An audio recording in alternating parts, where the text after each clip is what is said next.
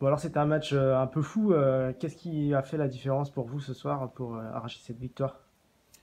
Bah, je pense que les deux équipes avaient envie de gagner et que, ces temps-ci, on, je sais pas si on respectait pas le maillot, mais on, s'était surtout menti à nous-mêmes. Du coup, on avait à cœur aujourd'hui de, de de se vider sur le terrain et surtout pour, pour toutes les personnes qui nous regardent à la télé.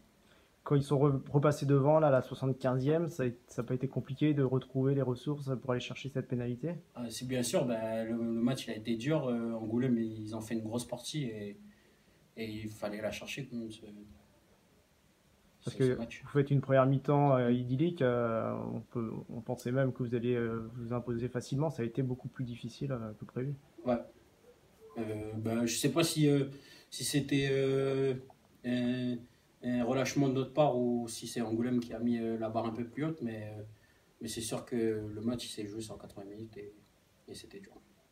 Ils ont raté des points au pied, ça, ça a pu euh, aussi jouer, peser dans la balance à la fin? Oui, bien sûr. Ben, après, euh, le match a eu beaucoup d'intensité, du coup, euh, du coup on peut pas en vouloir à, à les voteurs euh, adverses comme notre voteur à nous. C'est sûr que, que la fatigue était.